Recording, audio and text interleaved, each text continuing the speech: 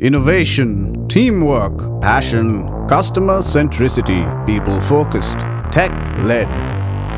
Blah, blah, blah. You've heard it all before.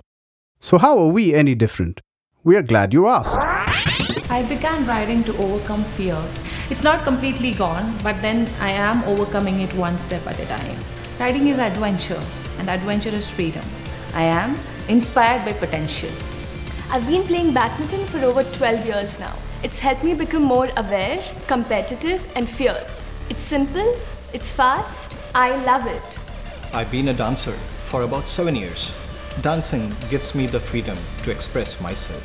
Dancing is abstraction of thought, creativity of expression, and fluidity of movement in one beautiful package. I'm responsive beyond imagination. Cycling is my passion.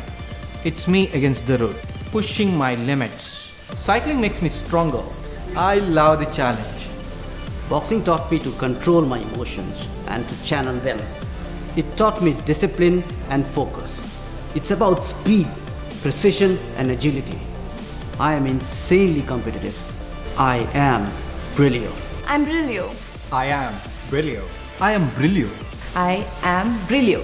I am Brillio. I am Brillio. I am Brillio. I am Brillio. I am Brillio. I am Brillio.